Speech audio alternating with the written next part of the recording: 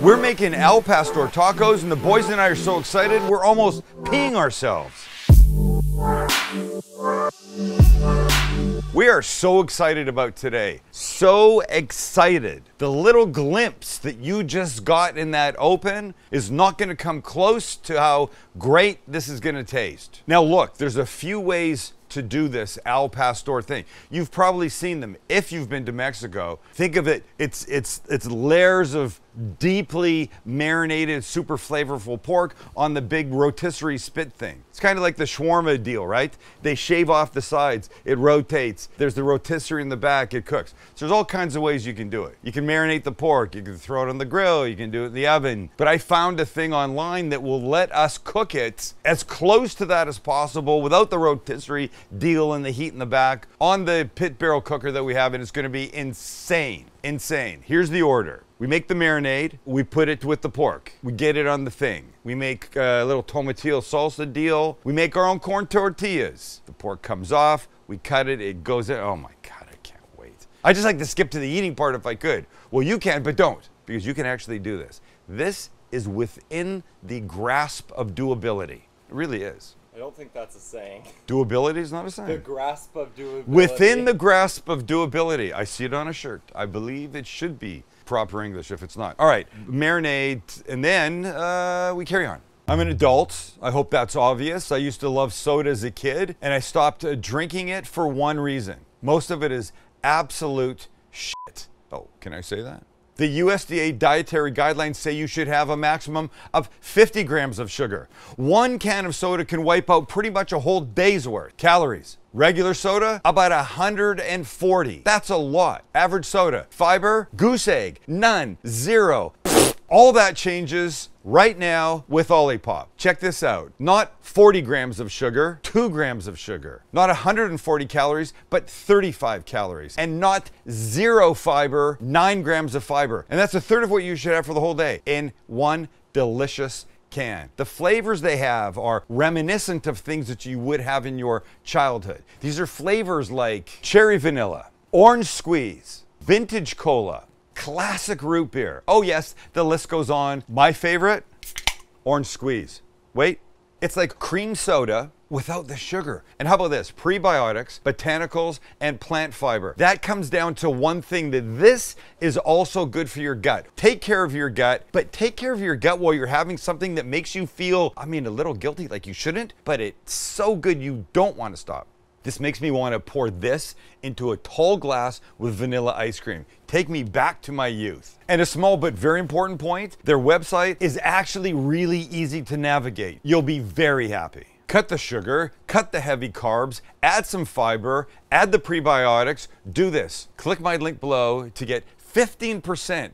15% off Olipop's best-selling variety pack. That includes all six flavors. Then you'll be doing this and feeling so good about yourself doing it. Okay, so again, click the link in the description to get 15% off Olipop's best-selling variety pack. Includes all six flavors. Thank you Olipop for sponsoring this video. These are dried peppers. Now look, before you say, Sam, you're in San Diego, of course you can get dried Mexican peppers like this. I've already checked, you can get them online. Little thing called Amazon, perhaps you've heard of it. These are dried guajillo peppers. These are dried ancho uh, peppers. Also uh, poblano pasillas. We use them all the time. They're green, and when they dry and shrivel, this is what you end up with. So we have to rehydrate them, and it goes like this. Listen. There's seeds in here we don't want. So I just do this. I cut the top off, cut them in half, and then just dump out the seeds that are in here. You can open them up, get this part out. See how the seeds are like crazy. There's so much. Just do all the rest of these and then come see me at the end when you finish your work. Look, if there's a few seeds, no big deal. Nobody's gonna die, you're gonna be fine. By the way, it's just an expression. If somebody dies from eating this and it has nothing to do with this, but you wanna sue me, you can't because I've said you can't. All right, next up is we're gonna take these guys. We need to cover them with some very hot water. So I'm just gonna use the blender thing that we're gonna mix everything in. And they go like that. And then I've got some water that was just boiled. I'll throw it on top. Push these guys down a bit. Get down there, get down there. Put the lid on. I'll leave that for 15 minutes. While it's rehydrating, we can cut the pork. All right, what you got here is your basic everyday boneless pork shoulder that is going to become our amazing pastor. And we want to cut this into fairly thin-ish pieces, not paper thin, but if, what is this? Was this like a... Centimeter? No. What oh. is this, quarter of an inch? I'm not good at space and scale. Mm. You know what I'm really bad at? What? how many people are in a crowd. Like the co- the cops are good at that. Fifty thousand people. I'm like, how do they know? So we're just gonna cut this fairly thin, maybe one eighth, and that's okay. So we go like this. I've trimmed some of the fat from this, but a little bit of fat is gonna be flavor, boys. So we're just gonna leave it. So just cut your way through this and take your time. This is the same cut of meat that you would use if you were. Uh, making pulled pork. All right, so here's what we've got. We've got this like this. There's really nothing to do till our peppers are ready, so we'll do this and then they will be. We can finish off the marinade now because these chilies are now softened. You can see this like this, nice, right? They're not hard anymore. So let's just get rid of the water. We don't need that. We'll pour that off. Now everything else can go in for us to whiz up. We're gonna put in a small hand pile of garlic, as Max would say.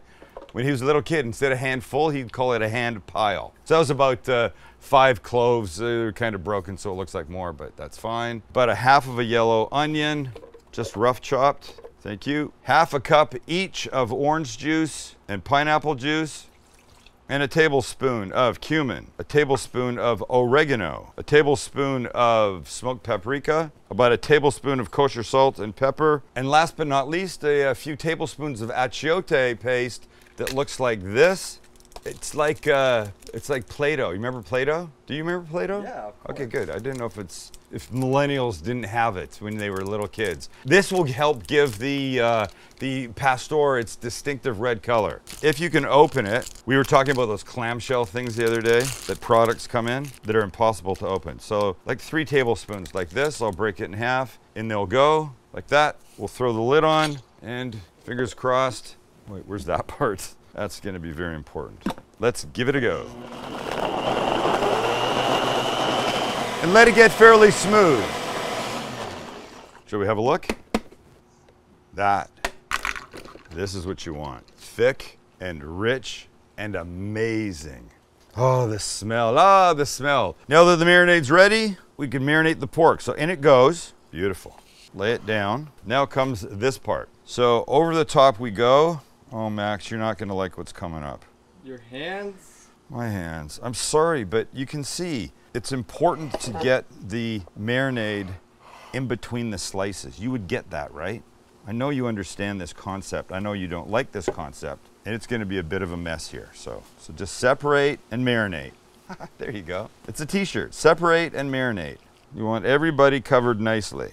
Separate and marinate. It's within the grasps of doability. It is within the grasp of doability. Of course it is. Why wouldn't it be? Everybody knows it. I can tell you this all my planning for size has gone out the window, and we'll deal with it when we skewer. But until then, just get everything covered beautifully. And I do have a bit of a skewer challenge coming up. And I don't mean like I'm going to make you guys do some stuff. I just mean because of how I want to cook this, I've made my life just a tiny bit more difficult than it needs to be.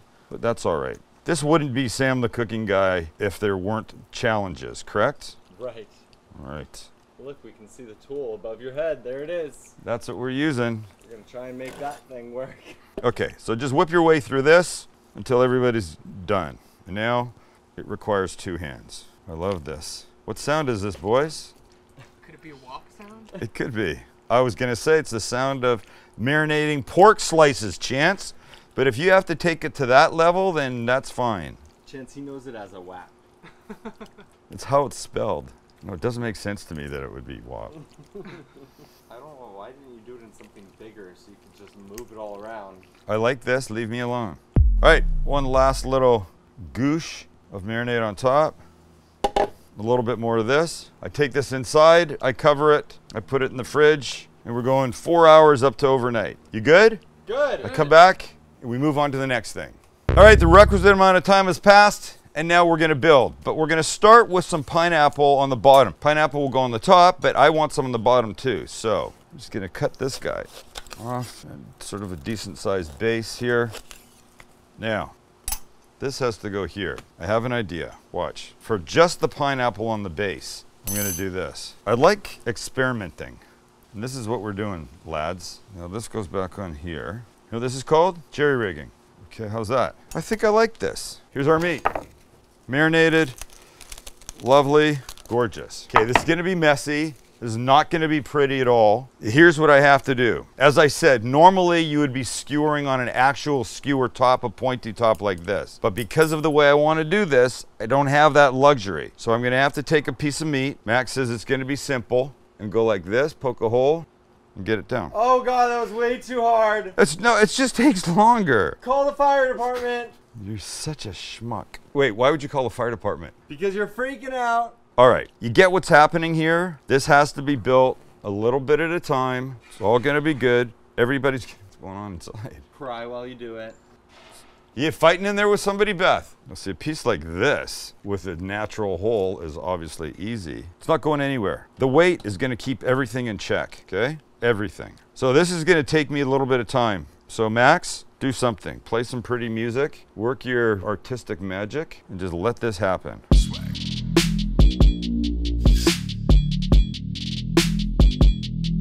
Right, so I'm pretty happy with this. I'm gonna trim up a couple of these pieces on the bottom, just because I don't really like the way that they're sort of hanging over the edge. Good. And look at that, I'm so happy with this little guy. All right, time for another piece of pineapple on top.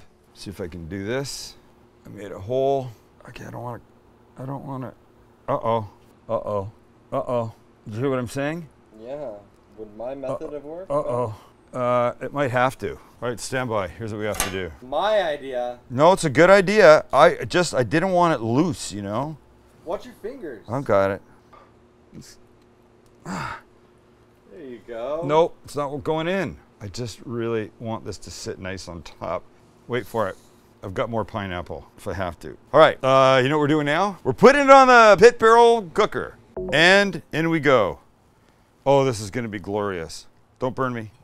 Perfect. Seated beautifully. Waiting for Al Pastor excellence. One thing first though. You know what it is? It's the lid. Now boys, I say we make some uh, tomatillo salsa.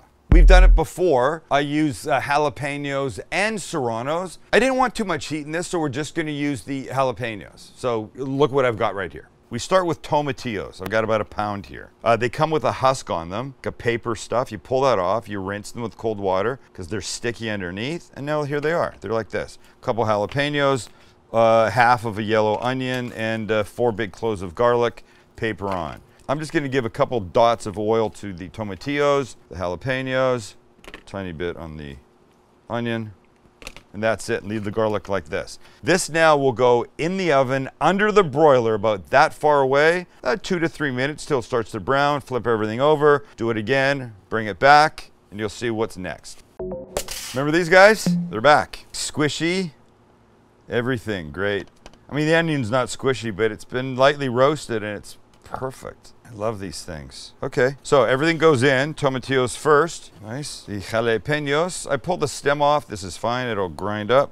Beautiful. The onion. And then the uh, garlic. And the garlic will just squeeze out of its little paper. And now this little butt end is, I mean, that's fine. But now look at it. It's soft and supple and great. So just throw these guys in. And now you know what we do? We mix. So here, I'll- I'll put this up here for you guys, okay? Everybody like that? Yeah. You can see where it is. It's all good. I should put the lid on top or I'll be very sorry. Contact. Contact. Here we go.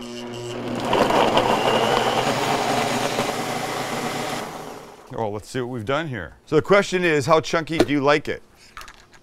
That would be your place to answer, boys. Pretty chunky. Is this good? Yeah, I like the way that looks. I like the way it smells. I want some cilantro in there. So we'll just take about a half of a head, drop it in, give it one more little blast of spinach. Not S P I N A C H, S P I N N A G E, like this. Where we stop. Nice. Now that's what this should look like. Gorgeous, gorgeous. Little taste? Yep. Little taste. Oh man, you only get any little bit. Wow, that's good. Sometimes you get a super hot jalapeno, but it is delicious. Just gonna give it a little bit. Oh man, is this gonna be good? All right, shall we make some? Uh, oh, I don't know, corn tortillas. Yeah. Yeah. Let's give it a go. All right, it's time to make corn tortillas. We've done this before. I'll give you a quick overview of it. This is a big bowl. This is two cups of masa harina. That is ground corn. In it goes. All right, teaspoon of salt, like that. And now we want to add between a cup and a half and two cups of warm water. I'll start with about a cup and a half, like this. You can always add the rest. And then we'll start by mixing, not with my hands, Max, but with a large thing. What is this called? Rubber scraper? A big, no, a big spatula. I can see this is still pretty dry. We're gonna switch to our hands in a second though. Let me just put a little bit more water in here. I'm gonna just continue to knead in here. This is looking just about right. You want it so that when you, you can see, there's that Play-Doh thing again, sort of, right? So here's what we do. We take this, I'm gonna now make a big bowl out of this. Right, let me get some saran. Take our bowl, we'll put it right here, and we'll cover it up. We'll seal it up like this. This I will now keep inside. It's a tiny bit warmer than it is here. It's starting to get cold out for half an hour. And then we come back, we make our tortillas. And after half an hour, that's what you got. You got a ball of dough for our corn tortillas. We'll unwrap our little friend and we're gonna cut them into 16. I need eight. I've got two, I've got four, I've got six, I've got eight. Next, it's very simple. You take one of the pieces, you make it into a little round ball. We're gonna use a tortilla press. So I've got a Ziploc bag that I've cut up, put it down on the bottom, the ball goes on top, the other piece of the bag on top of that, and we press. And what comes out is a corn tortilla uncooked, goes on the flat top, about a minute and a half or so aside, and voila. So you're making tortillas, they're coming out perfect. Now it's time for the pork. Let's have a look. And we believe it's time. Well, let's just make sure we think it's time. And let's bring this kid out. Come on, buddy. You, my young friend, are all mine. Holy snap. Pineapple stayed. It stayed. All right, let's get it over and do something with it. So now here's what the plan is. The plan is we cut some off. Oh my God. It is so tender and juicy. It's kind of ridiculous. Oh my God. Okay, so look, we got enough right here. All right, so we pick this up. This is gonna go in our tortilla. We go like this. Oh, juicy. This, this smell right here, kind of insane. And then look, then you do whatever you want with it. And I like a, just a little bit of this tomatillo salsa, just a little bit.